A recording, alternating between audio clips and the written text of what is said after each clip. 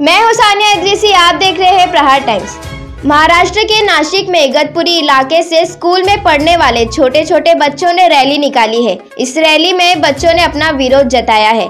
आखिर ऐसी क्या बात थी जो इन छोटे बच्चों को विरोध प्रदर्शन करना पड़ा?